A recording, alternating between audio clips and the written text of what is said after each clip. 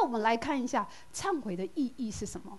好，在我们的律藏里面的支持记里面，他就讲忏悔这两个字，哈，其实它在梵文里面称为忏摩。所以有时候你们去受受菩萨戒，还是去做什么，一定时常看到忏摩这两个字，因为它的梵文就叫做忏摩。哈，那翻译成中文其实叫做回往。什么叫做回往？悔就是什么？后悔。往是什么？我往昔所造的种种种种的不好的，我怎么样？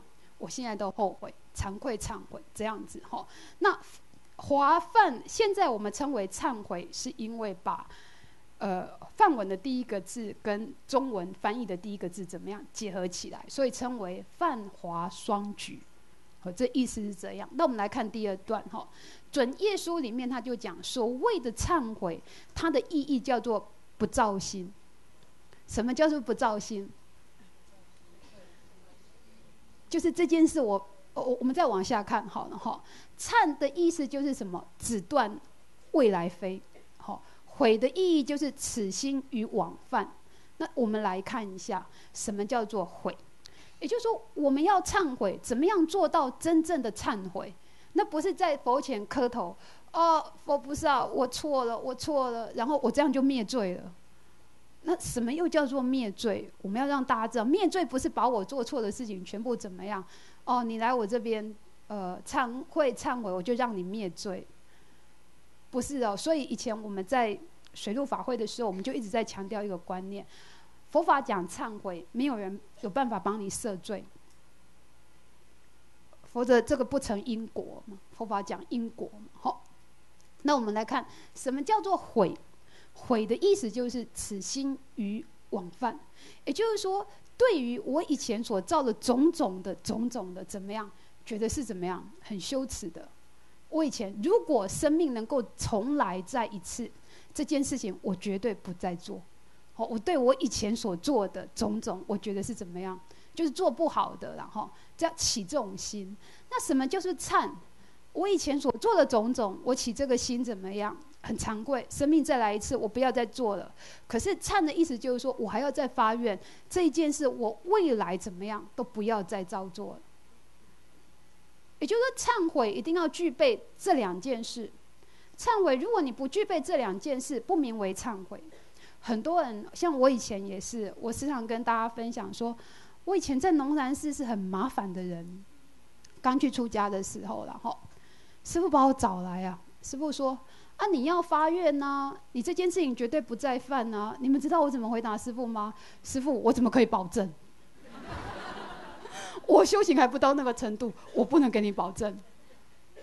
师傅说：“啊，你做错了，就是在忏悔就好了，在发愿就好了。”哦，不行不行不行。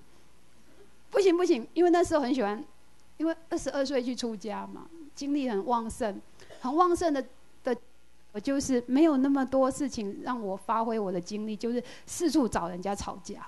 那四处找人家吵架这件事，怎么可能说我忏悔一次就不跟人家吵架了吗？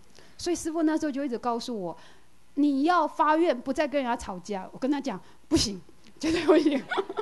这个有没有？是不是忏？就不是忏了。你要发愿怎么样？这件事情做的当下，你你要起这惭愧心，你就是要在佛前发愿：我未来这件事怎么样？我不再犯。可是会不会再犯？会不会再犯？可能会。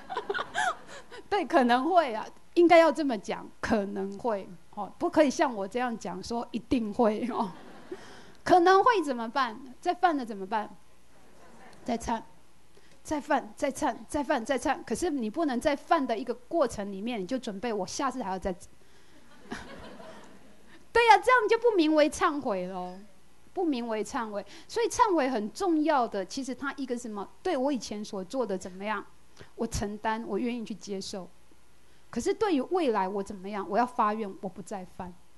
这个一定要有。所以为什么我们说忏悔？忏悔完了之后，你跟人家讲对不起，我做错什么？即使他是你的儿子，他是你的女儿，你做错了，你都要跟他忏悔。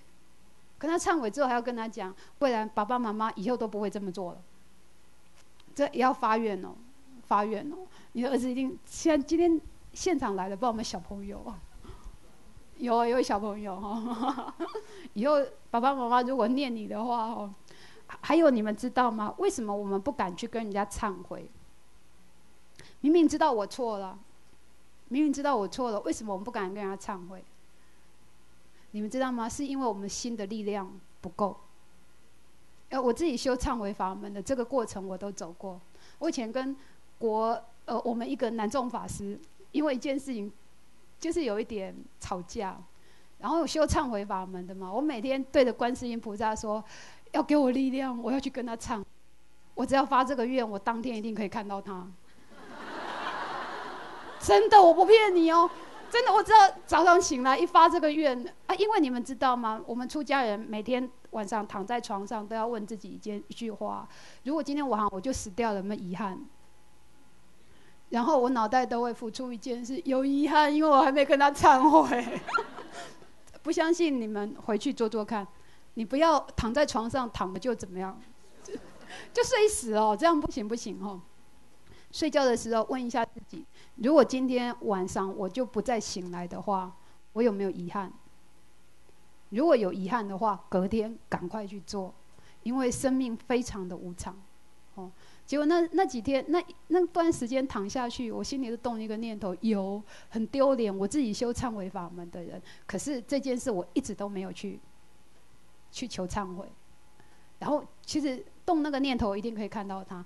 一直到有一次，因为呃，就是因为一个活动，我是那一次的总护，啊，那个南众法师是那一次的代理和尚，他穿红主衣，啊，我穿跑大衣，你们看那个多圆不圆满？他就坐在那个小房间里面等人家怎么样，反正就在休息，你知道吗？我就在那个门口晃了两次，一直没有勇气进去，到后来是跑到佛前跪下来，告诉。观世音菩萨跟佛菩萨，请给我力量，我心没有力量，请给我力量，我一定要去忏悔，否则我这下子往生不行。真的，那是佛菩萨的加持，就进去了，进去就跪下来，然后吓了一大跳。我说我要求忏悔哪一件事？就忏悔完了之后，你知道我全身是轻的。那天晚上睡觉的时候，就问我自己：今天如果晚上睡觉往生了，有没有遗憾？没有遗憾，可以往生了。哎，你就可以发现到全身是轻的，全身是轻的，不会有一件事一直怎么样卡在那个地方。事后我也收到这个法师给我的一封信哦，他说不愧是国凯法师啊。我说谢谢啊，这是本来出家人应该做的。当你没有那个力量去忏悔的时候，其实那就表示你的心很没力量。我们说，我们人的心就像风中残烛了，随便一吹，怎么样就不见了。心就是因为没有力量，所以怎么样？外境要我们怎么走，我们就怎么走。我们没有办法自己做主，所以为什么我们要修忏悔法门的原因在这里。好，好，那从这个地方我们就可以看到“悔”这个字，观察过去；“忏”这个字是发愿未来。好，所以忏悔一定是怎样？对于过去所做的怎么样？我求忏悔，我惭愧，我忏悔，我愿意去承担，请佛菩萨怎么样给我怎么样加持，帮我做什么担保人？对于未来这件事情，我绝对不再犯，是这样子的。好，来，那我们再来看忏悔，其实它有几个种类。好，其实忏悔它分四忏跟理忏。什么叫做呃两类？可是它有三种。三种，一个叫做法忏，一个叫做取向忏，一个叫无生忏。好，这个大家解就好。好，我们的梁皇宝忏就是取向忏，可以从取向忏进入到什么无生忏。那呃，做法忏，什么叫做法忏？做法忏就是，就像我们出家人，我们的戒律里面规定的很清楚，你做错什么，犯了哪一条戒，你可能要对一个人。你可能要自己在佛前跪下来折心忏，或者是你要对一个人忏悔，或者是你要对四个人，或许犯了更严重的，你要对二十个人以上，而且是在二部身中。好，那这个做法忏就是我今天做错什么？比方说，比方说，我今天，呃，就看到这支笔很漂亮。然后就看左看看右看看，摆在桌上又没有人知道，我就拿来变我自己的。后来想想不对，应该还要再拿回去。好，那那那这个你你自己就要忏悔，因为这犯道。如果是盗三宝的东西，更严重，更严重。好，那这个就是说，你看你你去求忏悔这一件事，那这件事的什么业报就没了，是这样子的。哈。这这个叫做做法忏，那这个就像一片杂草一样，你一直在拔你的杂草，拔得完吗？拔不完，所以这三种忏法都要什么样一起修，否则你那个你那个杂草长得比什么，比你拔的速度还快，可是你整个修忏悔法门的基础是在什么？从四忏开始，哦，那什么叫做取向忏？取向忏就是如果。诸位有送过菩萨戒，在菩萨戒里面，《放网经菩萨戒本》里面，他就有讲哈：应教忏悔，在佛菩萨形象前，日夜六时诵十众四十八清戒。若恳切到礼三四千佛，那我们等下再来看三四千佛是什么？他这边就有讲：得见好相，好相者，佛来摩顶，见光见华，种种异象，便得灭罪。这个就是取向忏。取向忏，像我们的大悲忏法，那个也叫做取向忏。好，我们的八十八佛，每天晚课要做的八十八佛，那个也叫做取向忏，是这样子。好，那我们再来看什么叫做，这是叫试忏。好，试忏就是一对一件事情啊。那呃，这个取向忏就是比呃类似说，呃，一个是拔草，你们现在拔草有没有什么机器啊？就是那个草比较快拔起来，可能。可能有一些工具啊，哈，有工具，那个杂草可以拔的比较快。好，那我们再来看一下什么叫做理忏。理忏其实又叫做实相忏，或者是无相忏。这个是实证无我的空性，无我的空性，这个就一定跟禅观完全结合。一定跟常观是完全结合，也就是说，我们在打坐，不管你修默照、修话头、见空性，其实就是这样子。好，所以呢，亲证一切诸法本性皆空，罪性皆空，由心造。所以他可以从四禅一直进入理禅，这个理禅就是比喻，比喻就是有一种挖土机，是不是？它就是连根呐。车子连根这样整个翻覆起来，让你这些罪业怎么样？整个全部翻起来了。好，这个就是速度又更快，好，速度又更快，哈。所以这三个忏法其实是怎么样？要一并修的。所以为什么我们说禅修这么重要？禅修其实是整个所有修行的，应该说最快的。只可惜，因为我们人已经变复杂了，禅修这么单纯的东西，其实不会用。所以我们才要又要呃，比方说要有什么？不管你修哪一个法门，到后来你要指证这个究竟，一定跟禅修跑不掉。所以我时常觉得，我们能够在师父的带领之下，在这个体系里面学佛哈，我我我我当然是呃，应该这么说哈。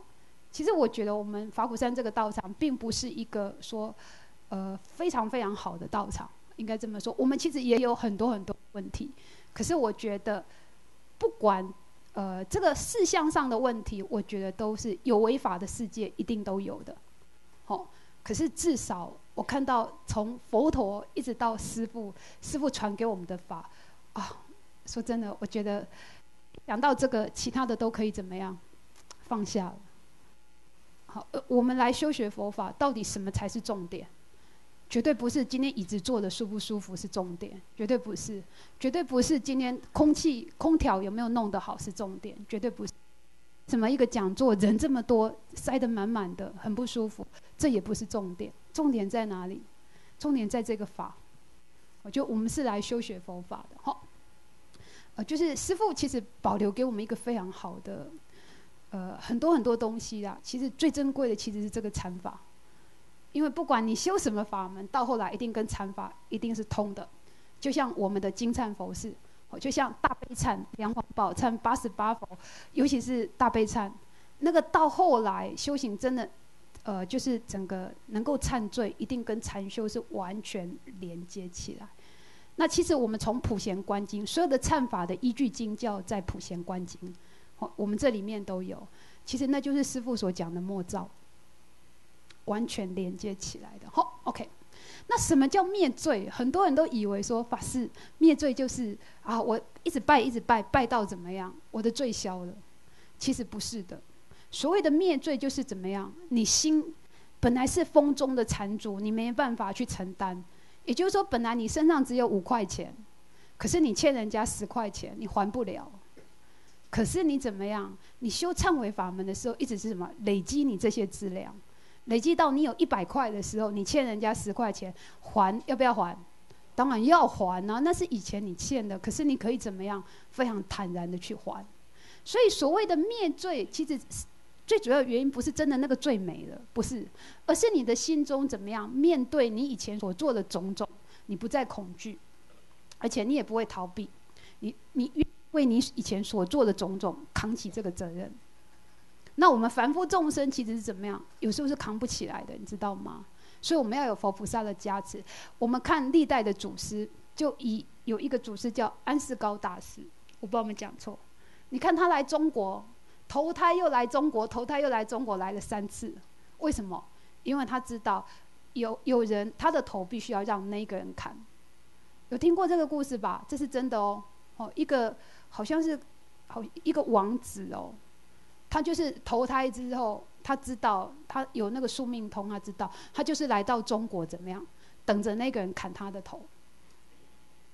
他有这个力量。心有这个力量，那当然，我们现在就是因为没那个力量，所以人家瞪你一眼，你就开始怎么样，心慌了；人家随便讲一句话，你就怎么样，心乱。你没这个力量，好，所以所谓的灭罪，不是呃所谓真的那个东西没了哈。其实最主要是我们心有那个力量，由心的这一个力量，其实应该还的还是要还。好，可是因为我们已经因为修行的原因，所以我们累积了我们更多的资粮，累积了我们更多的资粮，我们要来还怎么样？就是很简单，而且在还的这个过程还可以怎么样接引很多的众生，这个才符合因果法则。好，最近我在带着我们三学院读书会，那我们在读书我也在读训训老和尚，我们有一个法师就曾经问我说，为什么训老和尚被这么多人误会？好，其实他只要说明一下，这个误会就没了，就可以不用受这么大的苦难，或者被这么多人很奇怪的眼神。好，那为什么他不说明？你们知道吗？在佛陀的时候，佛陀的时代，曾经有一个有一位尊者，他可能证得阿罗汉果了哈，他就说他以前从来都没有偷过人家的东西，所以他钱绝对不可能掉。他为了要证明这件事，他把他的一两银子啊，一些银子啊，放在那个人来来往往最多的地方，就摆在那里。他就说，如果意思就是说，如果以前他没有去偷人家东西，这这一包银子应该到黄昏的时候应该都还在，在人最多。结果真的黄昏的时候怎么样？那包银子还在，这表示他以前没有种这个因，所以现在没有这个结果。那虚老和尚，我们那个法师就问我，我说那是因为一个修行人，他对因果这两个字不只是清楚，他非常怎么样深信。所以为什么师父时常告诉我们随缘消旧业，莫再造新殃的意思在这边。如果以前我们没有种下这个因，怎么样？现在不会有这个结果。现在有这个结果，表示以前我们曾经种过这个因，所以现在我们怎么样？这个结果出现了，我们应该要开心才对。人家帮你消业了，你这个这个什么业，这个障碍就没了。那可是我们不是，我们凡夫众生就是人家在帮你消业的时候，你就会怎样？再造一个因，再下下去了哈。所以就一直在这边轮回。所以为什么我们说我们能够听闻到正法是一件很可贵的事情？很可贵的是，因为那完全转变我们的观念。可能你在家里的时候，你的同修还是你的小孩子，其实就是很不乖，非常非常的不乖。如果你能够用这样的心情，哎，因果还是这种忏悔的这个概念，而不是一味的向外怎么样？现在我遭受到这些，就是以前我种的这个因嘛。现在这个因就怎么样啊？就是慢慢的还，慢慢的还。好，所以这个灭罪的意思是在这边呢，而不是真的这件事没了，不是的。好，那这个是呃，这好。那来，终于要进入了哈，只剩一个小时。我们来看一下这部《梁皇宝忏》哈。其实诸位呃菩萨们，那你没有哎，请再给我几本吧。这边有人没有忏本哈。呃，菩萨们，你们知道吗？你们在拜莲皇宝忏的时候，请你们不要那么快的进入进入所谓的忏本里面。哈，其实它这里面有慈悲道场忏法序。那个序跟那个记一定要读，吼。那个序其实他是在讲这部《梁皇宝忏》他是怎么来的，为什么要修忏法？其实他讲的非常的好。他说：“缘三缘福三界为心，万法为事啊，吼。悟本心之妙理，罪业皆空。如果我们能够亲证这个本心这个妙理的实证这个实相，哪来的罪？哪来的福啊？”罪福皆空啊，所以这为什么？这一定要见空性，就是那个理禅。那就是因为我们每一个人都迷了我们自是这个原名，所以什么有善有恶，所有的东西都出现。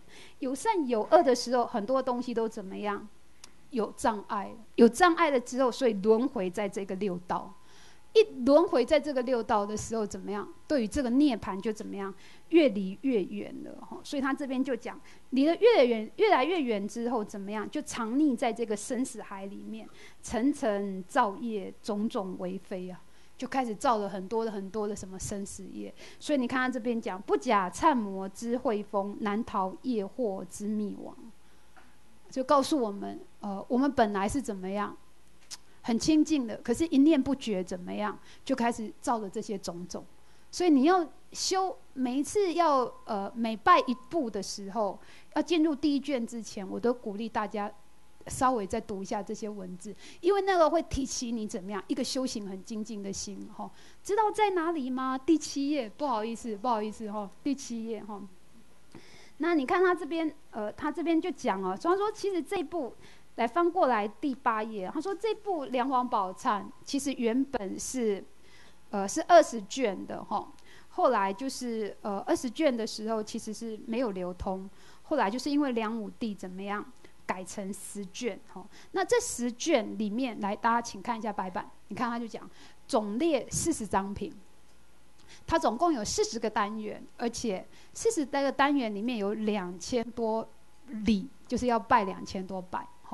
那四十张品里面，它分为两个单元。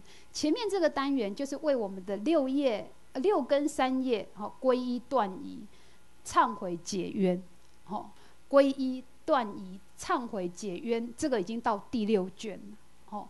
后面呢，为六道四恩，从第七卷开始，为什么六道的众生怎么样开始礼佛、礼佛报恩、回向发愿，这一直到第十卷。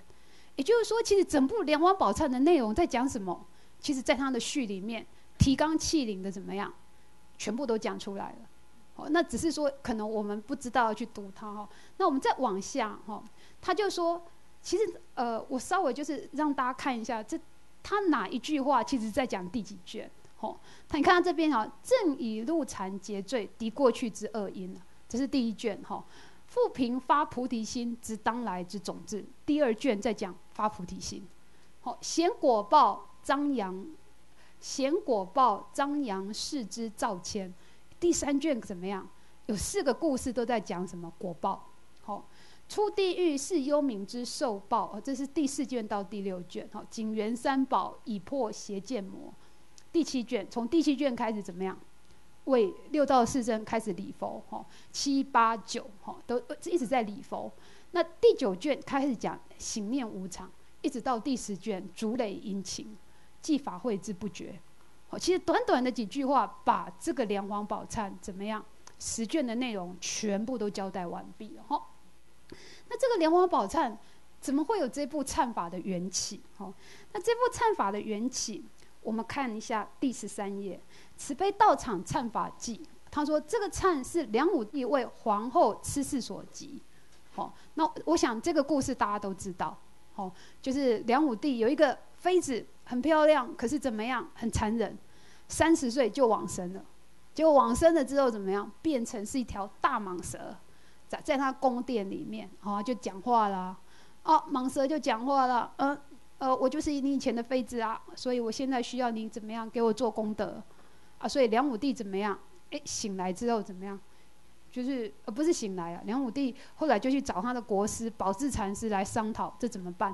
所以宝智禅师就怎么样？就是去收集的这些经文，好，然后跟佛名，然后录成这十卷。可是你们知道吗？这个在学术上面，这个是假的。这是假的，这是元朝的时候才发现到了。那你们一定会说，法师，我的梦破碎了。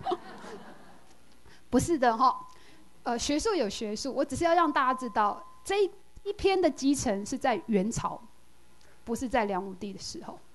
好，那为什么要有这一篇？整个修行很重要，要起信。起信，在华严经里面讲，信为道源，功德母，长养一切诸善根。整个佛教的修行，第一件事就是什么？起信。你没有信，尤其是我们宗教这件事，你没有信，你没有信，你没有办法走下去。我们的宗教其实很重要一个根，可是信师傅教过我们，从养信，信仰嘛，颠过来，从养信要慢慢走到什么？正信。正信，像我们今天这门课，就是要带着我们从什么？养性进入什么正信？也唯有你有正性，你才有办法真的怎么样离苦得乐。如果你只是养性而已，哪天碰到事情了，为什么人家碰到事情怎么样，都会有种种种种的呃什么，人家来帮他解除困难，为什么我都没有？如果你没有正性的话，其实你的修行怎么样，很容易动摇。好，所以从养性进入，可是要从正性怎么样入手？好，那这边就是告诉我们，虽然这个故事其实是怎么样，为后为后代所编撰的，然后不过很多人也因为这个故事怎么样起这个信。我们真正来看一下这个《梁王宝忏》的内容哦。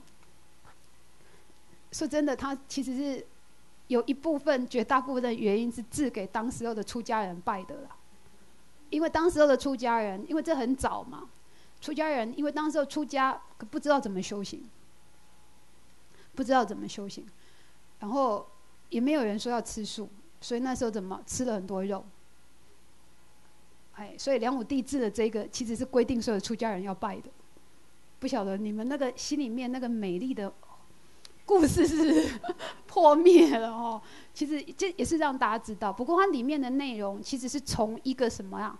没有学佛者，这四十个单元，从你一个没有学佛，怎么样皈依三宝，一直到最后怎么样成佛道，里面他都讲得很清楚。哈，我们等下再继续往下看。哦，那整个《梁王宝忏》，我们要来看一下它的结构。我不晓得这样子，后面的人可能看不到，看不到的没办法哦，因为只能做到这样子。哈。好来，整个莲花宝忏其实它很简单，好，那整个莲花宝忏其实它大概分为几个单元，我们来看一下哈，就是我现在前面框起来这个单元，它第一个是怎么样？